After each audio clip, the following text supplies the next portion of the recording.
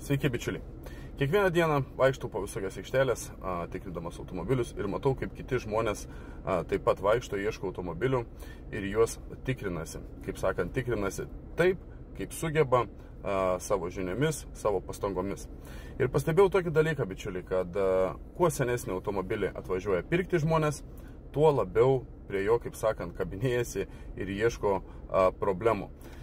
Tai dabar duosiu patarimą, kaip mano nuomonė reiktų pirkti seną automobilį ir į ką reiktų atkreipti dėmesį labiausiai. E, aš vieno dalyko nesuprantu, kai atvažiuoja, tarkim, pirkti kokio 27-26 metų e, C klasės Mercedeso, ne, kuriam realiai 18 metų, kuris yra jau pilnametis ir vaikšto aplink kėbulą, ieško rudelių, bado su pirštais kiekvieną rudelį ir taip toliau ir panašiai.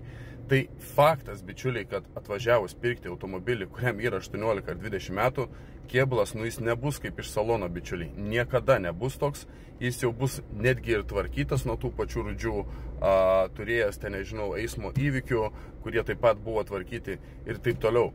Todėl mano nuomonė į kėbulą šituo klausimu reiktų kreipti, nuomon, e, kreipti dėmesį mažiausiai, ypač jeigu ten automobilis kainuoja, nežinau, 2-3 tūkstančius eurų.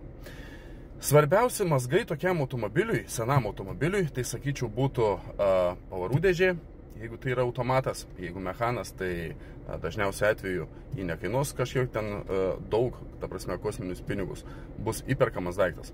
Bet jeigu tai yra automatas, tai svarbiausias dalykas būtų dėžė ir kas be ko variklis. Daugiau bičiuliai ten ta pakaba, kad pabilda, ten, a, nežinau, ta viena kita rudelė yra, nu tai čia nieko tokio, pakabą pasitvarkysit, kaip sakant, nusipirkę tą automobilį, tepaliukus pasikeisit ir važiuosit. Svarbu, kad būtų su technikiniu ir techniškai gyvesnis daiktas, bičiuliai. Taip, kad nedarykit tokių klaidų, bičiuliai. Žinau taip pat irgi žmonių, kurie ieško už 3-4 tūkstančius eurų automobilius po, nežinau, pusę metų ir nieko neranda. Tai paprasčiausiai neranda, nes yra per didelė kartelė užkelta. Tai reiškia mažas biudžetas ir labai dideli norai. Tai būkim bičiuliai realistai ir, kaip sakant, pirkime a, daiktus adekvačiai. A, kaip sakant, metai ir kaina viską pasako apie daiktą. Na, nu, daugiau belieka tik tais tokį daiktą jau nusipirkus prižiūrėti, kaip sakant, prižiūrėti, keisti tepalus, daryti einamosius remontus.